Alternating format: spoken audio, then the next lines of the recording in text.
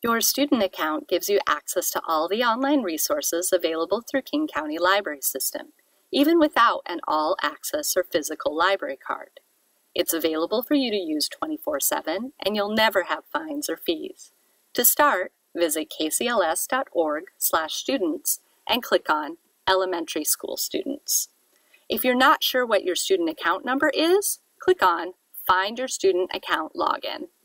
The login at the top of the page, up here, is only for items that you can check out from our libraries, such as books and DVDs, not for our online resources.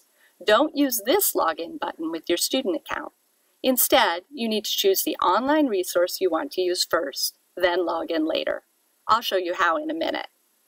There are lots of online resources available from the library, so we decided to put the most useful ones on this page.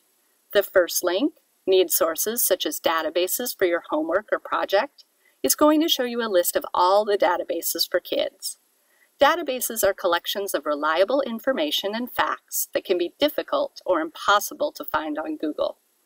They're great places to find information for reports, and because the library buys them, you get to use them for free.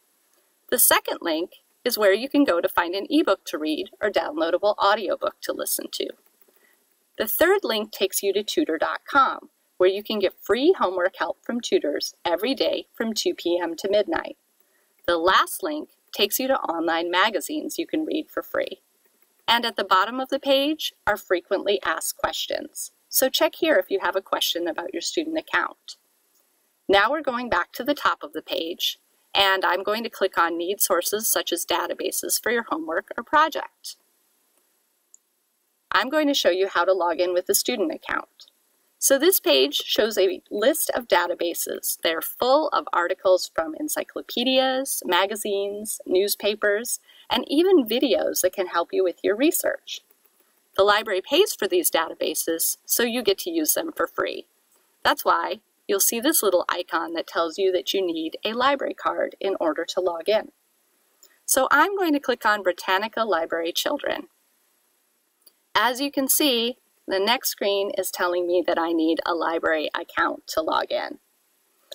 You'll see the same message for each resource that you click on from the Student Accounts page.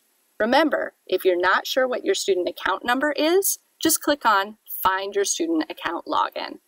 Since I know mine, I'm going to enter it here, as well as my PIN in the next box, and your PIN is the last four numbers of your student number. And then I'm going to click on Submit. And now I'm in the Britannica database, which has the same information as the Britannica Encyclopedia, but it also includes things like videos. If you decide this isn't the right resource for your assignment, you can always go back to kcls.org students and explore the other resources. Or you can go to kcls.org, our homepage, click on Kids and Teens, and choose Kids Homework Help.